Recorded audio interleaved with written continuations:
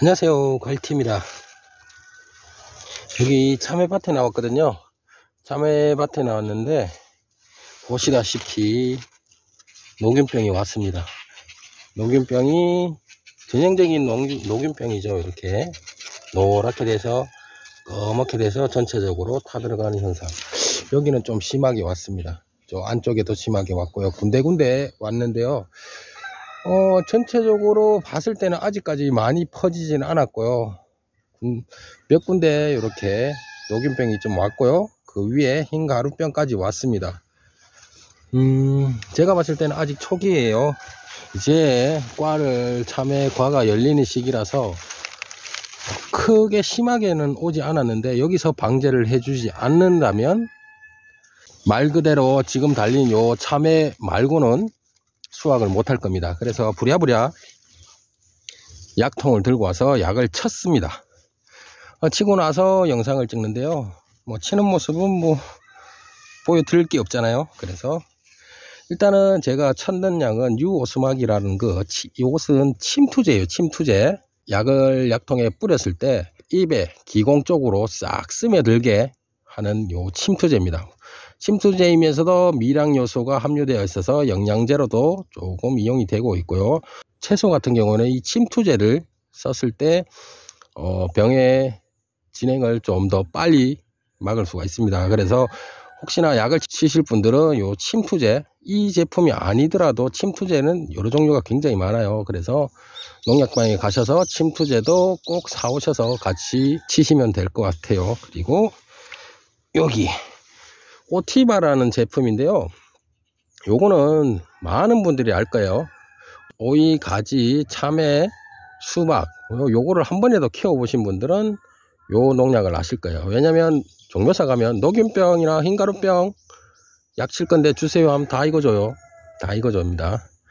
근데 이거 또 용량의 차이가 있는데 큰 것도 있고 작은 것도 있습니다. 보시다시피 저희는 참외하고 수박 두 고랑 밖에 없어요. 그래서 좀 작은 용량을 샀고요.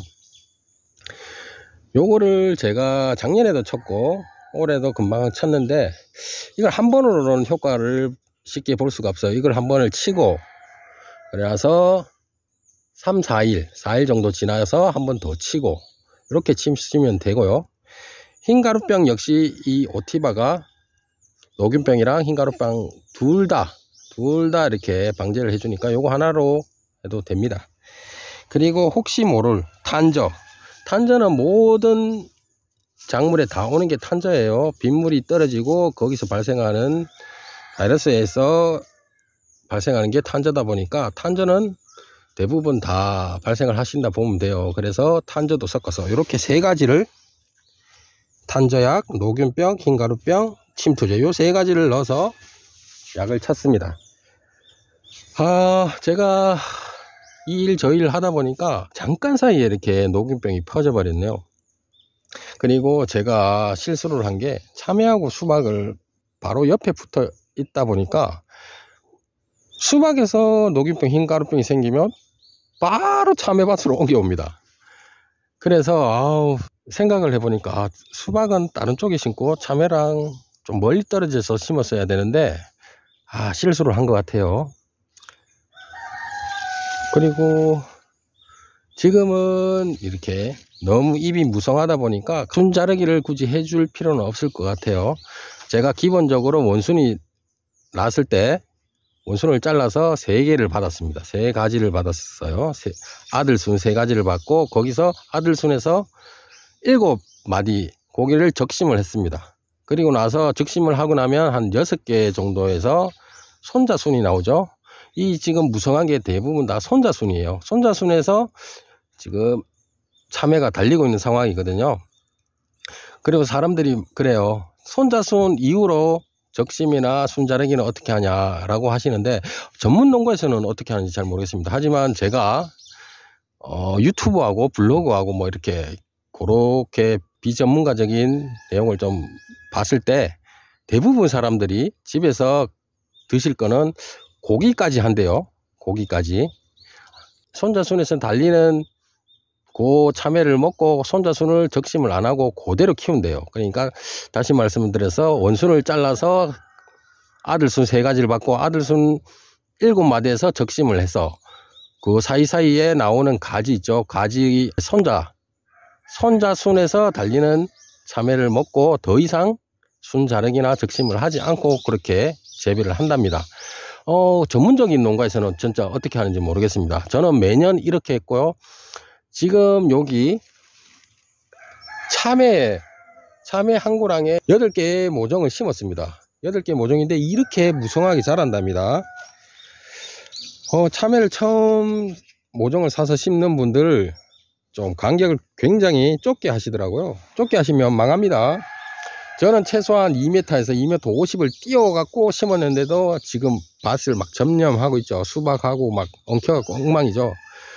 그런데도 제가 중간중간 적심하고 순자르기를 했는데도 이렇습니다. 그러니까 혹시나 내년에 뭐 수박이나 참외 하시는 분들 간격을 좀 많이 띄워야 된다는 거 꼭 기억하시고요.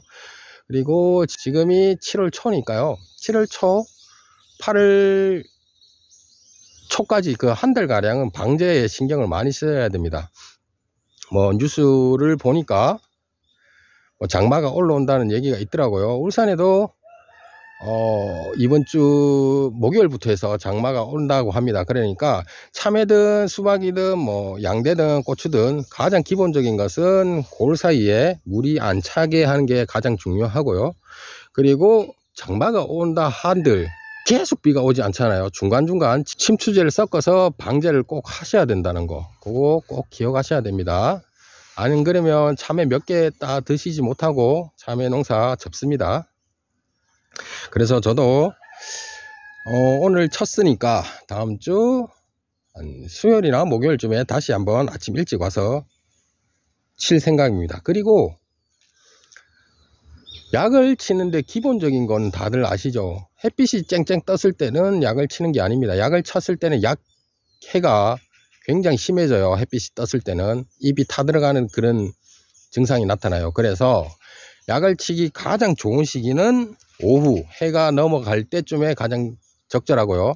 아 시간이 안 된다 라고 하시는 분들은 새벽 이슬 새벽 이슬이 맺히는 그때 와서 잠시 약을 치시는 게 맞습니다.